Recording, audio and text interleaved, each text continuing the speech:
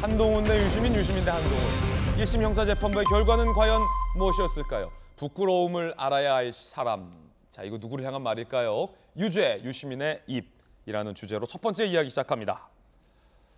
아시다시피 유시민 씨의 과거 발언 때문에 한동훈 장관이 형사소송 및 민사소송을 제기했고 어제 그 1심 형사재판 결과가 나오는 날이었습니다. 법원에 들어가기 전에 유시민 씨는 한 장관을 향해서 큰 소리를 쳤습니다. 그 대목부터 들어보시죠. 징역 1년 구형 받으셨는데 오늘 선고 어떻게 나올 것으로 예상하십니까? 알 수가 없죠. 한동훈 장관에게 개인적으로 사과할 마음이 있으십니까? 한동훈 씨가 저한테 사과를 먼저 해야죠. 한동훈 씨가 저한테 먼저 사과를 해야 돼요. 5억짜리 그 민사소송이 진행 중이잖아요. 그 한동훈 장관은 이거 취할 계획이 없다고 말했는데요. 이에 대해서 어떻게 생각하세요? 아무 생각 없습니다. 그걸 뭐 제가 생각해야 될 이유는 없죠. 재판 결과나 검찰의 구형은 내가 전혀 상관할 일이 아니다. 라는 일종의 어쩌면 자신감도 내비쳤고 한동훈 씨가 나에게 사과를 해야 한다라고 재차 말을 했습니다. 유시민 씨의 모습이었습니다. 법원 들어가기 전 모습입니다. 어, 이 재판은 2019년 유시민 씨의 이 발언 때문에 시작됐습니다. 그 발언 들어보겠습니다. 지금으로서는 제가 안 밝힐게요. 어느 경로로 이걸 확인했는지 어떤 경로를 통해서 노무현 재단 계좌를 검찰이 들여다봤다는 사실을 확인했어요. 검찰이 노무현 재단의 계좌를 들여다본 사실이 있습니까? 들여다보셨다면 도대체 어떤 혐의로 계좌 추적 영장을 발부받으셨는지 그 내용을 공개해 주실 것을 요구합니다. 2019년 큰 선거를 앞둔 시점이었고 확신에 찬 발언으로 확인을 했다라며 한동훈의 검찰이 윤석열 한동훈의 검찰이 노무현 재단의 계좌를 불법으로 들여다본 것을 확인했다라고 재차 유시민 씨는 확신에 차서 이야기를 했습니다. 그때 큰 논란이 인바 있습니다. 결국 검찰이 노무현 재단 계좌를 불법으로 들여다본 사실이 없는 것으로 확인됐고 유시민 씨는 사과한 바도 있지만 한동훈 장관은 비방의 목적을 갖고 나의 명예훼손을 할 목적으로 허위 사실을 저렇게 이야기했다라며 민사 및 형사소송을 제기한 바 있습니다. 지난 1월에 한동훈 장관의 이야기 한번 들어보겠습니다. 형사소송은 시민단체에 의해서 제기되기도 했는데 민사소송을 제기한 한 장관의 지난 1월 발언입니다. 유시민 씨나 지금 이 권력자들은 마치 자기들은 무슨 짓을 해도 절대 수사하면 안 되는 초헌법적인 특권 계급인 양 행동했습니다. 권력이 물라면 물고 덮으라면 덮는 어, 사냥개 같은 검찰을 만드는 것을 검찰 개혁이라고 사기치고 거짓말했습니다. 어용 노릇하기 위해서 어, 저를 해코지하기 위해서 거짓말한 거기 때문에 제가 그냥 넘어갈 수 없다고 생각합니다. 이분 또 그럴 거기 때문에 저는 어, 그럴 수 없는 입장이고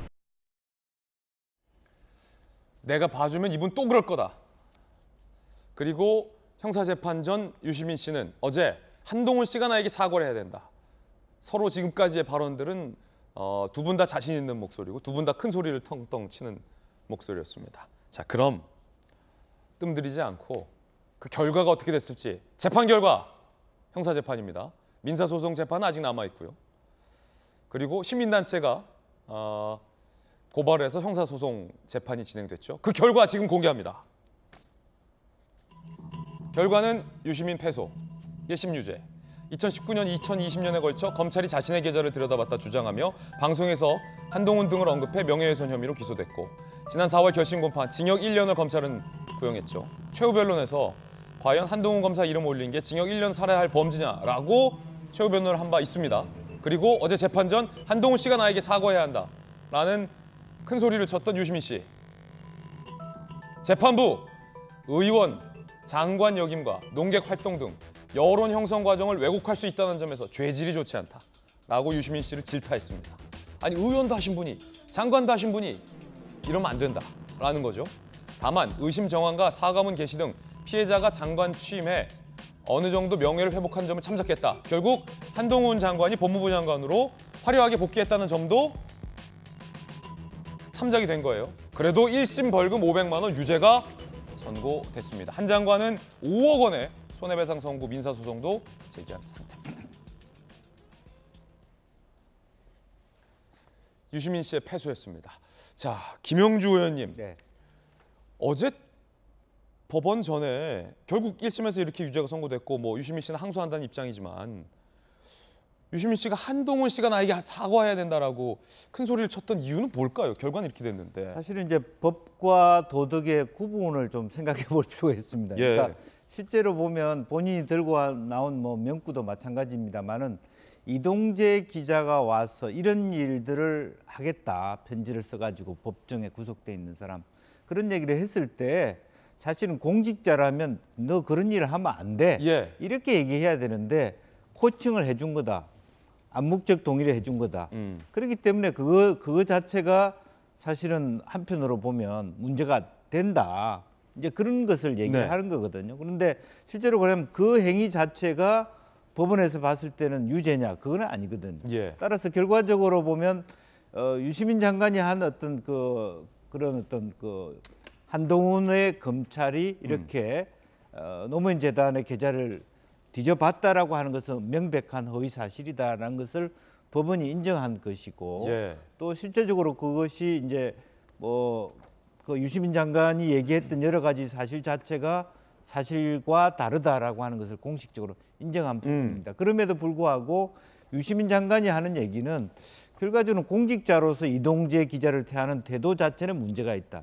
이런 것인데 엄격하게 보면은 그 자체가 법의 논리 속에서 이것이 어떤 유죄가 되는 건 아니기 때문에 설령 항소를 한다 하더라도 유시민 장관이 썩 다른 말하자면 2심에서의 결과를 받아낼 수 있을까 하는 것은 우리가 의문점으로 남았다고 볼 수 있고 따라서 결과적으로 민사 재판에서는 상당히 지금 5억을 만들어 걸어놨지 않습니까? 민사 재판에서는 상당히 유시민 장관이 형사의 재판의 결과에 준한 결과가 나오기 때문에 어, 상당히 많은 어떤 손실을 볼 수도 있지 않겠나 그렇게 생각이 듭니다.